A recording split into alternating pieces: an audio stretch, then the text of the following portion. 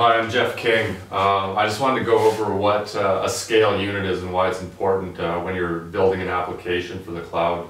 Um, so scale unit is a, kind of a unit of resources that you can scale. That sounds pretty simple, um, but it's actually fairly challenging uh, to achieve and it takes quite a bit of testing to really figure out what your scale unit would look like. So I'm just going to draw a really simple application um, just to kind of describe um, how you would achieve finding uh, what your scale unit is. So if we look at like a website um, that interacts with a data store, um, again, this is completely generic as well as this. These can be um, really whatever technologies you want. The idea being here though, this is a web server. Um, and so, I mean, we kind of understand what a web server is and then this is your data tier. Um, we kind of understand what that means. So persistent data and a scalable web front end. So um, when you're looking at this in terms of like scalability, you might think that you can just scale that web tier, um, you know, to you know one million resort, one million servers, right? Um, and you can in a cloud, right? But that is not going to end up being a good user experience because there is a point at which um, you will have so many web servers that your database, you know, won't be able to fulfill the requests. Um, in this kind of like huge number scenario, um, they might not even be able to connect to the database at some point because all the connections are used up. Um, so things like that you definitely have to take into account, right? And so that's why it's really um, interesting to come up with what your what your scale unit looks like. Um, so it's usually a mixture of your data tier as well as say your web tier. Um, so you might find that um, you can have, and this could be a quite a large number, but you can say like 100 web servers um, and have a data tier that's able to facilitate um, requests from 100 web servers. Um, so just to put that over top, just they're all running in parallel, they're all interacting with the data store.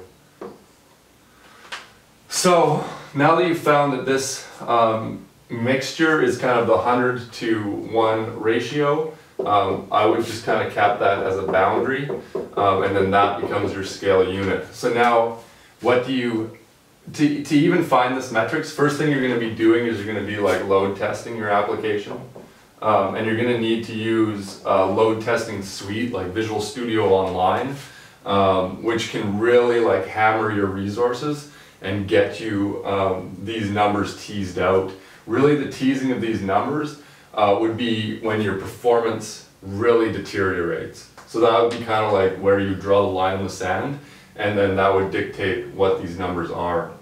Now, once you have these numbers, you get a sense of what you have to do in terms of you know meeting the client demand past that. So um, to meet the client demand past that, once you have your application built like that, you'd be looking at creating an entirely separate environment um, with, you know, like the same resources, potentially the same number of resources as well. Well, that would give you like a doubling. Um, so once you have, once you know you can duplicate your system, um, you can put these in two different data centers and theoretically you can route your traffic to it uh, depending on where the user is. So this is a really simple way um, to, to achieve scale past your scale unit. Um, but it's really important to know what your scale is, what the boundary is. So like this is like the number of requests per second in this case.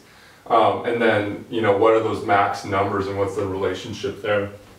Once you have all that information, you can still scale beyond that. Um, it just becomes a very different picture.